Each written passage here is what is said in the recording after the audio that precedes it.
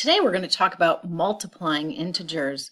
It's the first part of standard 7NS2 that says you're going to apply what you already know about multiplication to multiply integers. So today, by the end of this video, I'm hoping you'll have a better understanding of how to multiply integers. Multiplying is the same as grouping. See, you already knew that. So in this case right here, we have a picture of two groups of three. Two groups of three we know is six. Another way to look at it is we have three things taken two times. So three times two is six.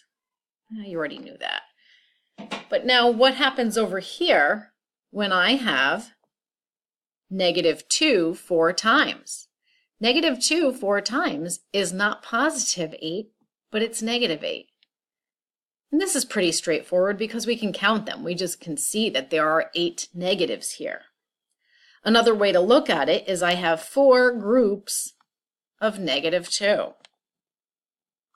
Four groups of negative 2 is negative 8. Okay, now what happens though if the signs aren't always exactly the same? That's what we're going to find out next. Multiplying is also repeated addition. You already know this. This is review. The only thing though is we're going to take it up a notch and we're going to add some negatives. So if I have 5 times 2 over here, that means I have 5 groups of 2. 5 groups of 2 is 10. Another way to look at it is I could have two groups of five. And two groups of five, oops, I thought I put my pen on. I did. Two groups of five could be one, two. Now we know from the commutative property that 5 times 2 is the same as 2 times 5. So let's do this one more way. I could also say that this is five groups of two. So here's one group of two, two, three, four, five. I still end up at positive 10. Okay, easy enough so far. Over here, it says 5 times negative 2. That means I have five groups of negative 2. So I'll start here and count five groups of negative 2. Remember, negative means I move to the left. One set, two sets, three sets, four sets, five sets. I landed on negative 10. Another way to look at it because of the commutative property, it says I can do it in any order. I could look at this as negative 2 times 5, which means negative 2 taken 5 times. Or negative 2 groups of 5. Still brings us to negative 10. Down here I have negative 5 times 2. This means basically what we just did in the last one, two groups of negative 5. I still end up at negative 10.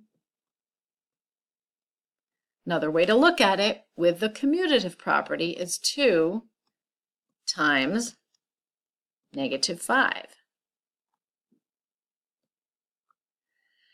So I could do, let me change my colored pen.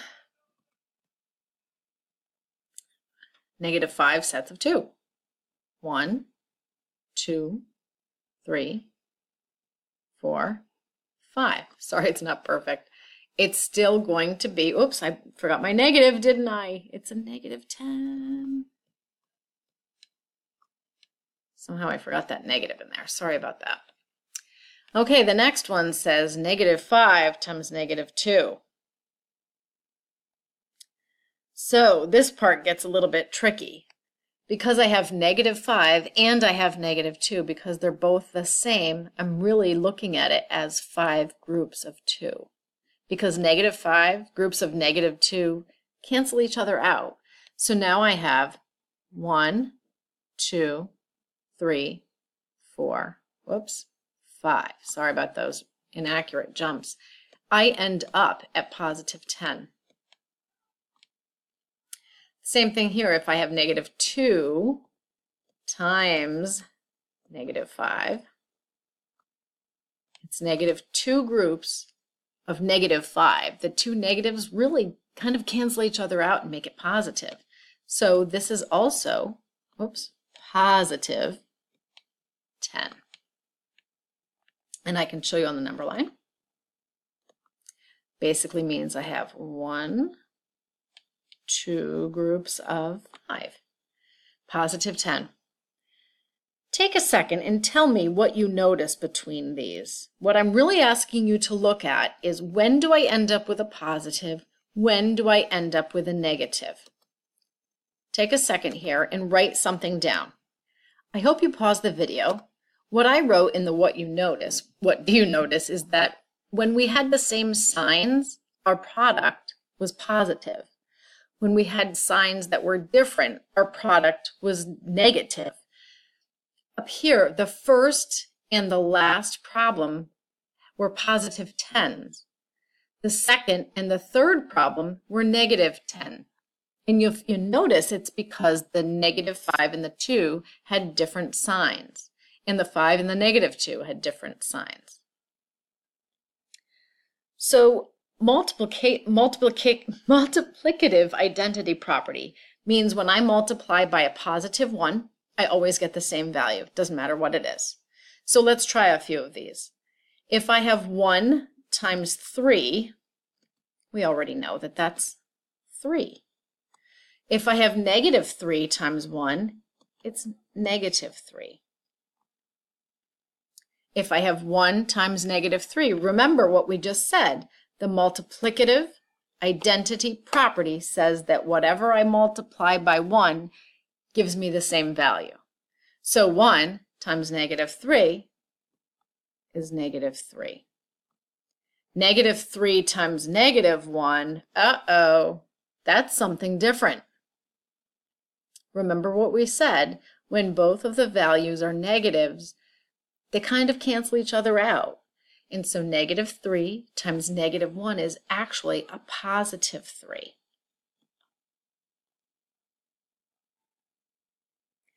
Take a minute, pause the video, and think about what we've just talked about. I hope you pause the video. It says in this bottom circle, what are all of the ways that we can write multiplication? And I want you to remember really what it's asking us to find is all of the symbols that we can use for multiplication. One of the things we can use is the dot. Do you remember that? Another thing we can use is the X sign for multiplication. Now we are using that in this unit, but when we get into algebra and solving equations, we will no longer use the X because that could get confusing. And then we can always use parentheses. Multiplying by an opposite gives you the opposite answer. Keep that in mind. When we multiply by an opposite, it gives us the opposite answer. So if I'm multiplying a positive by a negative, I end up with a negative. If I'm multiplying a negative times a negative, I end up with a positive because it gives us the opposite. I hope that makes sense. When we multiply by an opposite, it gives us an opposite answer. Keep these doodle notes in case you need to look back. Keep them somewhere safe.